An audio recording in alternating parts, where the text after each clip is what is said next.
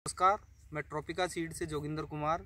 आज आपके एक परीक्षित के फ़ील्ड में बिठा के लेके आया हूँ। आज हम इन तोरी के बारे में इन किसान से जान लेते हैं ये तोरी क्यों लगानी चाहिए क्यों अच्छी है ये? नमस्कार जी संजय जी। नमस्कार जी भाई साहब। ये आ, अपना नाम बताइए। मेरा नाम संजय कुमार है। गाँव? गाँव डानी कुसाल भिवानी तहसील Bhawani Khera near of city आसी। तो ये मैंने परीक्षित की तोरी लगाई थी। इसकी क्लैरिटी भी बढ़िया है और ये बाज़ार में भी बढ़िया दाम पे बिक रही है। और इसका एक और चीज़ देखने का है कि जो ये आगे पीछे से जो एक साइज़ है, इसका ये ही एक मेन चीज़ देखी है मैंने। और इसकी और आप ये देख सकते हो, अब भाई इसकी फ्लावरिंग में कितना दम है।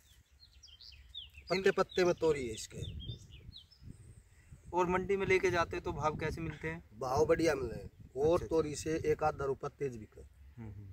तो यही चीज़ होती है जो एक तोरी में होनी चाहिए भाई अच्छा भाव मिलना चाहिए ज़्यादा फ्रूटिंग होनी चाहिए बीमारी कम होनी चाहिए।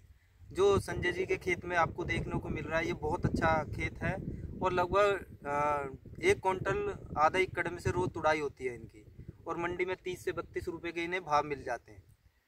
धन्यवाद। धन्यवाद संजय जी आपने अपना कीमती समय हमें दिया और अपने विचार हमें बताए।